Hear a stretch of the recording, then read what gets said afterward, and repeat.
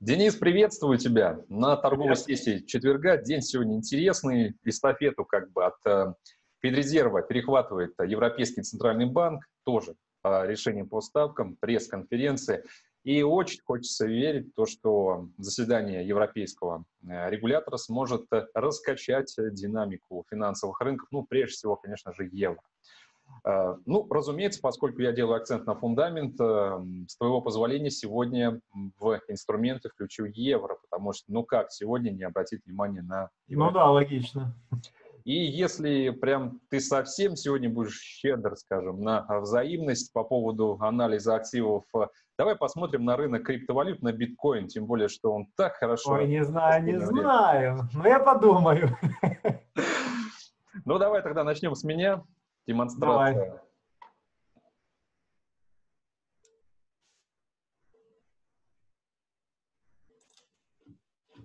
Так, пошла демонстрация?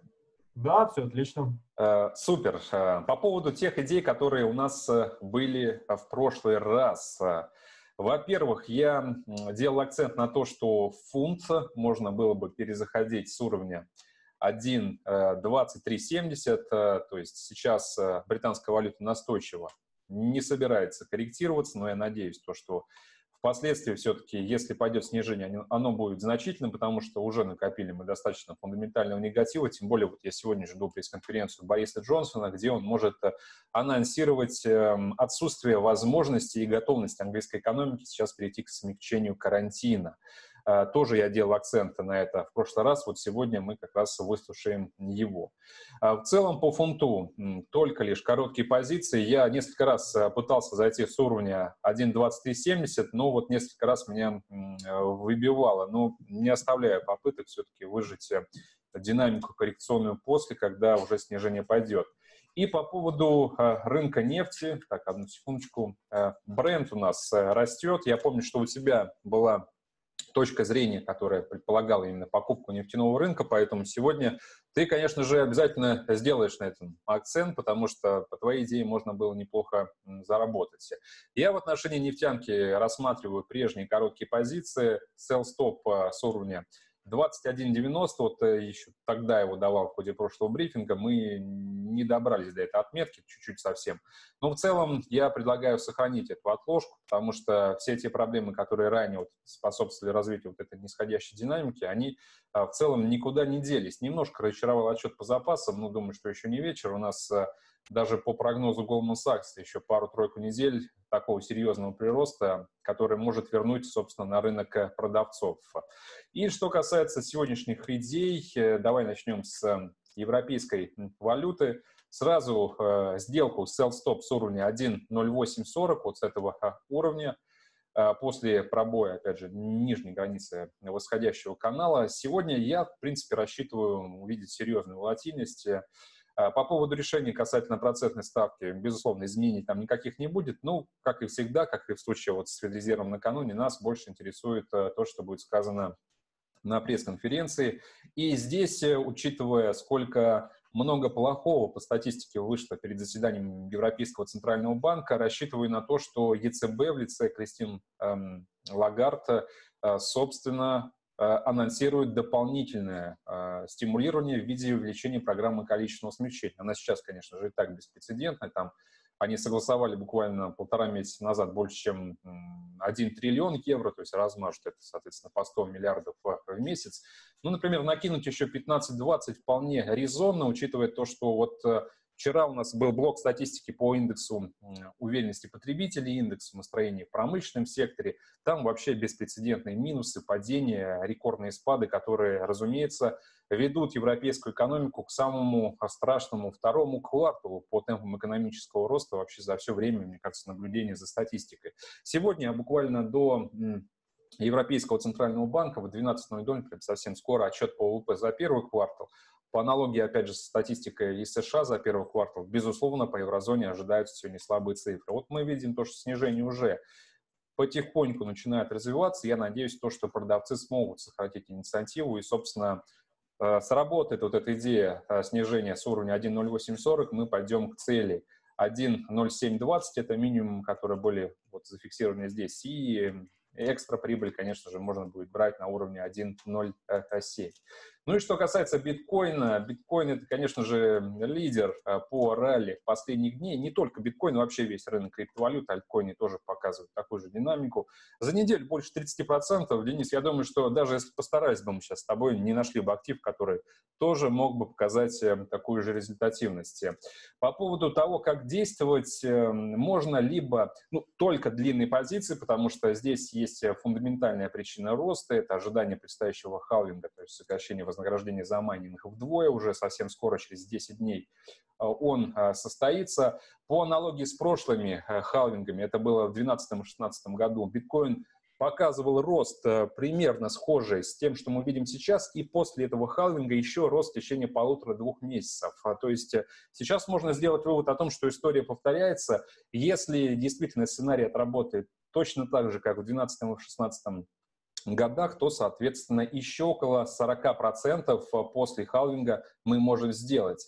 Поэтому в качестве идеи либо покупки с текущих значений, тех, кто готов подождать, э, можно попробовать э, дождаться э, коррекции в районе 8,5 тысяч, покупать и уже с целями 10 500 и 12 500. Хотя вот цель 12 500, мне кажется, более интересной, Опять же, те, кто следит за рынком криптовалют, и если интересует э, более разжеванный фундамент, у нас на сайте есть очень интересная статья на сайте компании Amarkets по поводу перспектив биткоина. Там подробно рассказано, что и э, помимо халвинга можно еще использовать для оправдания именно роста э, биткоина.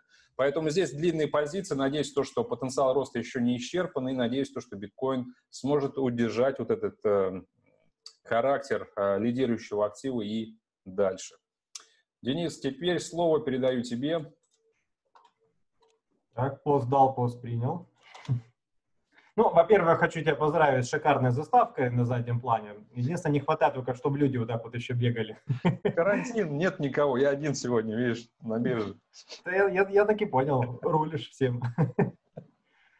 Так, хорошо, сейчас обо всем пройдемся. А, у меня мнение, ну, частично совпадает, значит, э, с евро начнем. Угу. Да, безусловно, сегодня все ждут э, решения по ставке, хотя ставка, э, как ты уже сказал, вряд ли будет изменена, и рынок, в принципе, этот момент уже заложил а, в цену. И плюс ко всему, да, пресс-конференция, ну, собственно, как и вчера на ставке по РФ США, всегда пресс-конференции и дальнейшие перспективы монетарной политики, они прежде всего являются основополагающими ну, вот, вообще в подобном блоке uh-huh. фундаментальных новостей. Вот. Что я лично ожидаю, вот чисто исходя из позиции техники. То есть, то есть если сейчас все отбросить, как будто новостей в мире не существует, а существует только спрос и предложение, то а, прежде всего с точки зрения продаж меня смущает то, что вот тот профиль э, ключевой, три ключевых недельных профиля, которые я показывал на а, прошлой нашей с тобой встрече во вторник, mm-hmm. цена, в принципе, от них реакции не дает. То есть, ну, это для продаж весьма как бы странновато.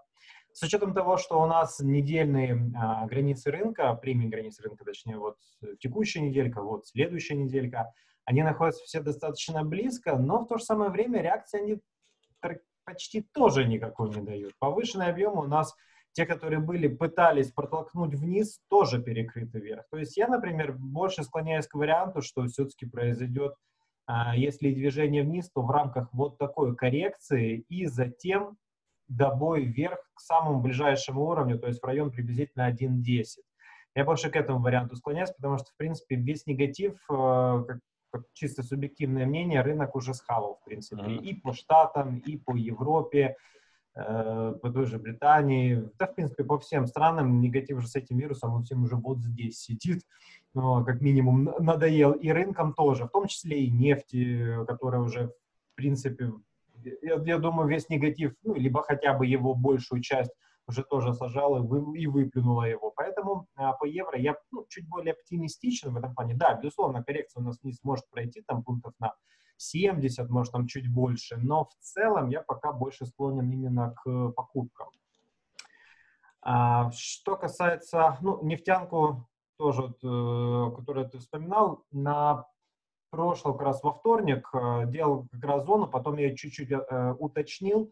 потому что поставил здесь чисто по внутренней части коррекции кульминации. Это есть такая фишка, это самая-самая дальняя зона, которая может быть при кульминационном ретесте. Она получается у нас вот в таком виде. Вот. Эта зона, я бы сказал, с идеальной точностью отработалась.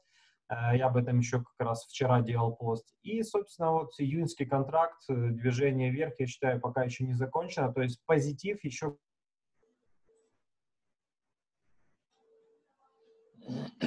по, по нефти есть. Поэтому я больше все-таки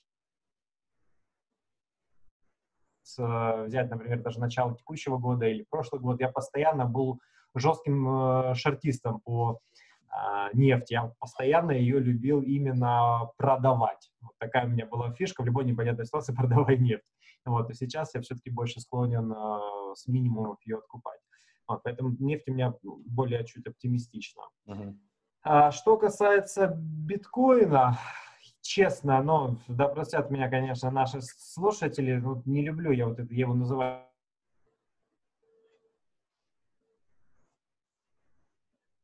или прям целые счета и карты букировать, э, те, кто связаны с криптой и, в принципе, по делам на самом деле. Но, опять-таки, это дело, дело вкуса, дело лично каждого, это мое так чисто субъективное мнение.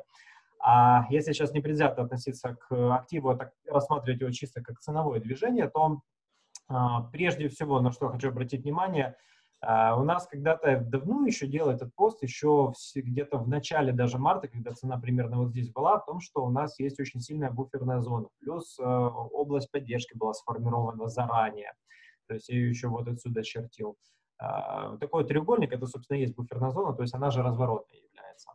Плюс ко всему, э, меня редко можно увидеть на графиках, но сюда я еще накинул FIBA, так что примерно посмотреть, насколько технично ходит данный инструмент. В принципе, неплохо. Не, не супер технично, но нормально. Сейчас фактически цена подошла к самому а, ближайшему сопротивлению. То есть у нас ближайшее сопротивление, это вот э, был расчет на стратегический уровень, его, в принципе, цена уже взяла весьма неплохо. Плюс проталкивание произошло через близлежащие поддержки, поэтому с текущих я ожидаю не что иное, как коррекцию вниз, как ты уже правильно сказал, будет халвинг, я об этом тоже читал, uh-huh. вот, и уже с э, коррекцией, то есть после коррекции, мы увидим э, новый цикл роста с большей долей вероятности как раз в район приблизительно 10 с половиной тысяч за монету. Поэтому у меня лично вот такой сценарий. Если до этого я рассматривал вот с этой зонки а, попытку коррекции вниз, а потом отскок, то здесь коррекцию даже не дали от зоны продавцов абсолютно никакую, ее протолкнули. Это очень часто сигнализирует нам о том, что рынок при коррекции готов будет сделать именно разворотку. То есть этот момент технически он ну, абсолютно на всех инструментах работает одинаково, и на валютах, и на индексах, на товарных фьючерсах. Поэтому, в принципе, биток я очень сильно сомневаюсь, что станет исключением. А, так что вот такой сценарий 6,5, 7,5 – это тот диапазон, где находится вот а, среднесрочная зона для покупок с самой ближайшей целью в районе 10,5 тысяч за монету. Поэтому mm-hmm. то, что ты говорил касательно роста, я тебя в этом плане поддерживаю. Только единственное, все-таки хотелось бы ее с коррекцией. Я, в принципе, не исключаю, что могут из текущих просто пульнуть вверх, да, но все равно потом в дальнейшем, как мы видим, чисто по характеру движения, все равно коррекции глубокие происходят. Ну, вот. да. И на случай как раз будущей коррекции, либо с текущих, либо с более высоких уровней, у нас именно этот диапазон является наиболее важным, наиболее сильным. Вот. Так что схематично примерно вот в таком виде вижу движение. 10,5 это не предел, то есть могут и выше дать, но я обычно показываю, то есть ближайшие цели, а там уже, знаешь, какие серии посмотрим, что будет. Спасибо вот, тебе, Денис. Да, такой, такой у меня взгляд получился. Ну, супер. Тогда давай следить за ЕЦБ. Разумеется, опять же, делаем акцент на то, что движения будут. Э, друзья, все контролируйте загрузку депозитов, это очень важно, особенно на волатильных рынках, и особенно если вы полезете в биткоин, который ходит буквально за считанные дни на 20-30%, э, это для него не предел. Денис, тогда увидимся с тобой уже на следующей неделе. Хорошего тебе закрытия этой недели и хороших выходных. Спасибо Пока. взаимно тебе, нашим подписчикам. Всем хорошенько отгулять.